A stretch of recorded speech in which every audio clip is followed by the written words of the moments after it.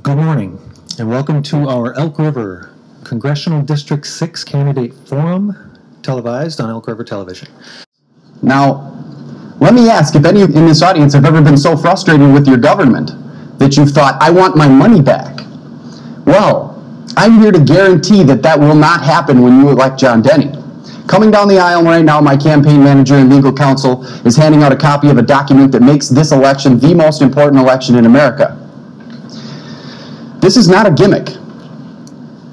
This has been drafted by President George W. Bush's former chief ethics counsel.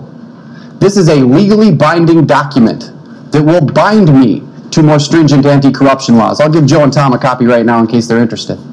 Now, I've told you all along that my plan is to get money out of Congress, and this is what is going to do just that. This is a money back guarantee, and here is how this plan will fix it. First, let me just let me just read from this document. No conflict of interest campaign contributions. Promisor shall not intentionally solicit or knowingly accept any campaign contributions that create a conflict of interest. This means I only accept contributions from humans who live in Minnesota. Second, I will self-impose a lifetime ban on lobbying back to Congress. I will not become a lobbyist, not ever. This deals with the revolving door. Now, in the event that I breach this contract, what happens? You get your money back. It's the money back guarantee.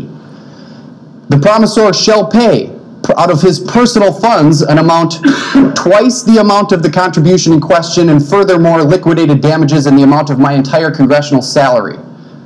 That is what I am willing to pay. I'm putting it all on the line because I'm not going to Congress to serve myself or to serve any other purpose than the people of the 6th District. This, this contract will guarantee that. This is being written about in the Harvard University School of Ethics book by Richard Painter, and it will be talked about. This is not a gimmick.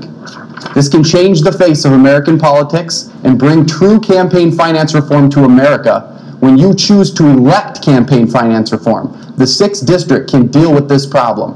When John Denney's on CNN in 24 days talking about his deal with the 6th District, all districts across America will wonder, why can't we hold our congressman to that standard? And they will. And the dominoes will fall one by one, and the 6th District of Minnesota will solve campaign finance reform in America.